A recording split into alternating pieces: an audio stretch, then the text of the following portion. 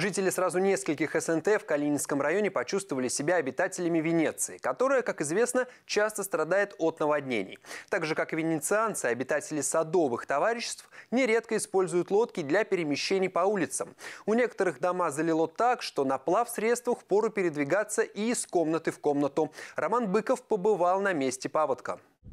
Первые дни нынешнего апреля обитатели пяти СНТ, расположенных рядом с деревней Даниловская Калининского района, не забудут никогда.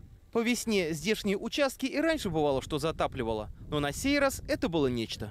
В отдельных местах люди фиксируют подъем воды на отметке 60 сантиметров.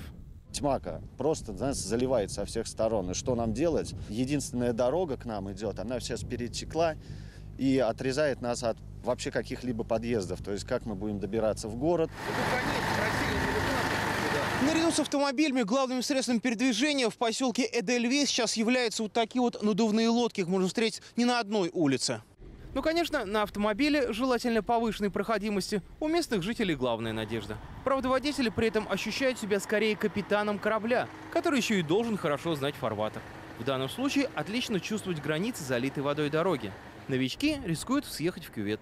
Таким на помощь готовы прийти сотрудники МЧС, несущие дежурство здесь в эти дни. Однако жители СНТ интересуют, когда все это закончится. Ведь владельцы окрестных участков не только дачники, которым пока и приезжать еще рано. Купили участки, построили дома. У многих даже нету квартир, куда уехать. Они живут здесь, им деваться некуда. И они не бросят свои дома, жилища. Проживают здесь на прописке 13 э, человек полностью с, мал с малолетними детьми, которых вот мы в таких условиях пытаемся отвозить в школу на лодках.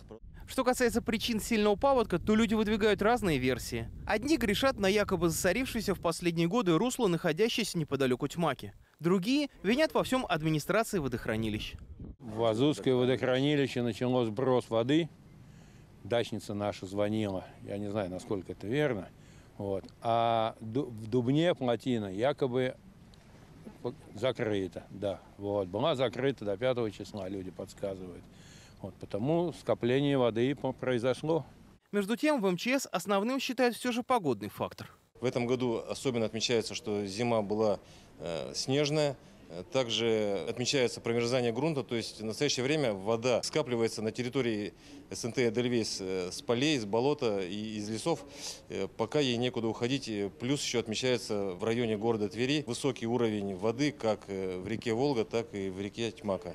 Со своей стороны МЧС, районная администрация и областное правительство готовы организовать любую помощь, вплоть до подвоза питьевой воды. Ведь у всех затоплены колодцы и туалеты, а значит пользоваться местными источниками ни в коем случае нельзя. Что касается причины паводка, то ее обещает выяснить Волжская межрегиональная природоохранная прокуратура. Если окажется, что большая вода действительно пришла из-за несогласованных действий администрации водохранилищ, то жителям будет кому предъявлять претензии за испорченное имущество.